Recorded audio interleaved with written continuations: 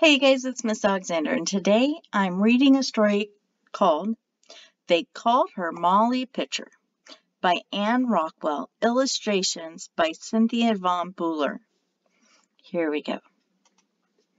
In 1777, a barber named William Hayes closed up shop and joined George Washington's Continental Army in the Revolution against England. He went to Valley Forge, Pennsylvania, where Prussian general named Baron von Steuben was tra- training the Patriot troops in the formal rules of battle that armies used in those days. Like many women of the time, Hay's wife, Mary, nicknamed Molly, went with him. Some people think that she is the legendary heroine Molly Pitcher. George General General George Washington was commander in chief of the Continental Army. He and other officers, plus a bedraggled army of about 12,000 men and boys were camped at Valley Forge just before Christmas of 1777. Snow lay deep on the ground, and Washington's troops had run out of everything they needed to keep on fighting. Washington begged the Second Continental Congress for food and supplies, but none came. It was so cold that soldiers had to stand on their hats in the snow to keep their feet from freezing. Their shoes had holes in them from tramping over miles of rough and stony ground. They had no blankets or warm clothes. They didn't have enough to eat. Their camp was a filthy mess. Many of them were very sick. Every day, more and more soldiers deserted. Others died. Molly and other women who'd followed husbands, sons, fathers, and brothers to Valley Forge did whatever they could to help. They cooked and cleaned, washed and mended clothes, and nursed the sick. But no matter what they did, most mo, more soldiers died each day. Things began to look up when the Second Continental Congress finally sent supplies. George Washington began planning to go to battle again. At the end of June, a scout brought news a large number of British soldiers, led by Sir Henry Clinton, were gathered at Monmouth Courthouse near the New Jersey shore. The fight everyone had been preparing for was coming very soon. Washington ordered General Charles Lee to lead an advance guard of 5,000 soldiers to attack the British. He'd send in a rear guard of more men soon after the fighting was underway. William Hayes was among Lee's advance guard marching to battle. As she always had, Molly followed. Winter at Valley Forge had been bitter cold, but June of 1778 in New Jersey was hotter than anyone could remember. It was just after sunrise when American soldiers fired on the British near Man- Monmouth Courthouse. Molly could see that the day was going to be a scorcher. Heat and humidity were already shimmering up from the ground. She decided what her job would be that day. She spotted a green and mossy place where a spring gushed up. She ran and filled her pitcher with cold water. She raced back to the battlefield, dodging cannon and musket fire, carrying her pitcher full of water for any American soldier who needed a drink. The Americans knew all about set, all about such hot and humid summer days. They knew they had to keep cool any way they could. They ignored what Baron von Steuben had taught them about looking neat and military at all times. They stripped off coats, belts, wigs, hats, boots, shoes, and stockings and tossed them onto the grass.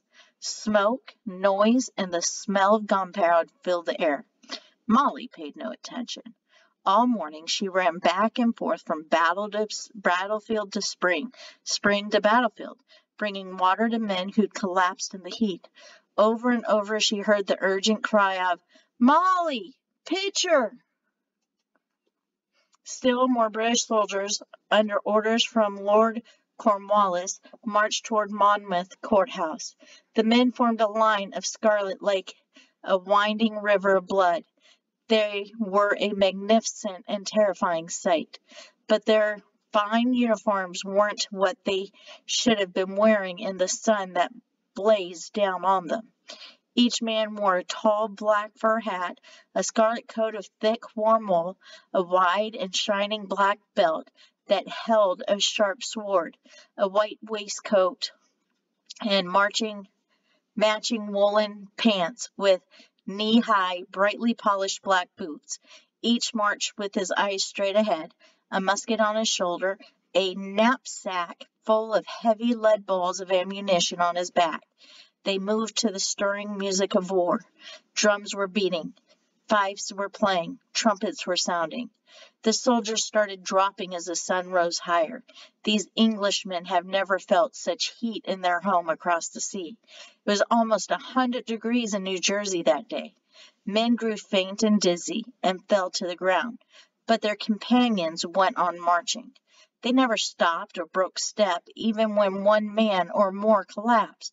Fifty-six British soldiers died of heat stroke that day. It didn't stop them, though. All morning, more and more scarlet coats marched onto the field. Many American soldiers panicked at the sight of so many. General Lee couldn't maintain order. His soldiers forgot all about fighting in the disciplined ways Baron von Steuben had taught them. Instead, they ran in terror this way and that, hiding in ditches, up in apple trees, beneath hedges. General Lee was sure there'd be a massacre of his troops before morning turned to noon. He gave the orders to retreat. Molly saw that some of the men, including William, disobeyed the order and kept on fighting. The sun was growing hotter. As long as any member of the Continental Army needed water to drink, Molly Hays wasn't going anywhere. On one of her trips to the spring, she stumbled over a body of an American soldier. She assumed he was dead until she heard him moan. The British were advancing quickly, guns aimed straight at their foes. Molly knew she could run to safety, but the wounded man couldn't walk, let alone run.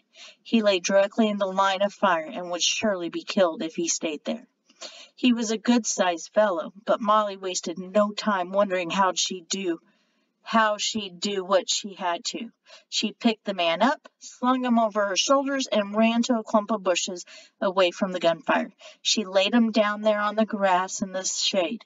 She ran back toward the spring and past the canyon. William was firing just in time to see a ball from the British musket hit him. William fell to the ground. She examined her husband's wound and saw that he couldn't die from it, but he couldn't fire his cannon. Someone had to. Molly grabbed the long ramrod, plunged it into the barrel of the canyon, and fired it off. She kept on firing. A ball fired low from a British musket came whizzing straight toward Molly. She quickly spread her legs wide. The musket ball passed between them. It never touched her but her skirt and petticoat were ripped and became a good deal shorter than they had been. She muttered that it could have been worse and went back to work firing the cannon. Soon General Washington galloped onto the field riding Nelson, his fine horse, who never shied at the noise of guns or cannons, no matter how close they were. Washington carried a flag of, of commander in chief. Thirteen stars in a circle in the field of blue silk. The flag fluttered and flew above the smoke of battle.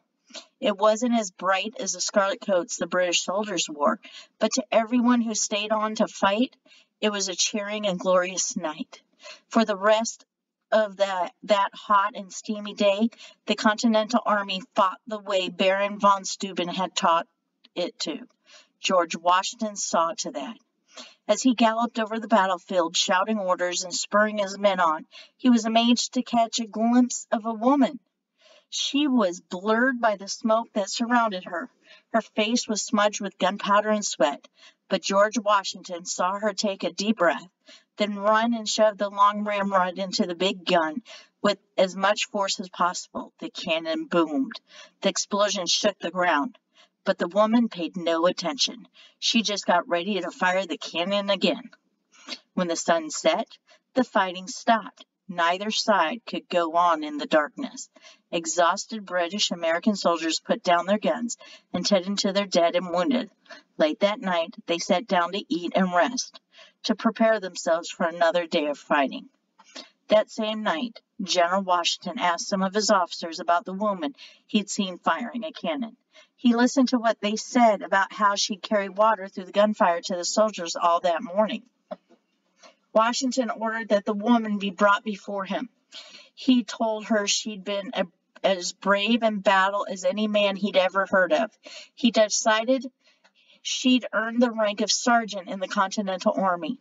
As she listened to what the tall, strong general said, Molly Hays had never felt so proud in her life. No man who heard George Washington speak to her that night doubted that Molly had earned her rank. As the news spread through the troops, no soldier sneered at the thought of a woman being a sergeant in his army, even though no one present had ever heard of such a thing. That night, Sergeant Molly Hayes lay down on the grass at the edge of the field beside William and the rest of his soldiers of the Continental Army, long after the stars filled the sky. General George Washington spread his cape over the grass, tied Nelson to a tree, and lay down with his weary soldiers. As he lay gazing up at the stars, planning his strategy for the next day's battle, fires danced on the hills across the field where the British were camped. The voices of many men carried through the night. Sentries marched back and forth, keeping their endless watch. It was very late before everything was quiet, except for the chorus of frogs singing in the nearby swamp. Molly and the other American soldiers rose before the sun. They had some sleep and were ready to fight again. Many believed they could win, but they didn't fight the British that day. No scarlet coat soldiers marched onto the field. They'd gone away. Sir Henry Clinton and Lord Cornwallis had ordered a retreat. They didn't want their men to fight the wily old fox again this morning. They were afraid they'd lose. Washington's Continental Army didn't fight like farmers, as the British leaders had been sure they would. They fought like soldiers, and one of those soldiers was a woman. So that was, they called her Molly Pitcher. I hope you enjoyed this story. And remember while you're reading to smile, giggle, and wiggle, and I'll talk to you later.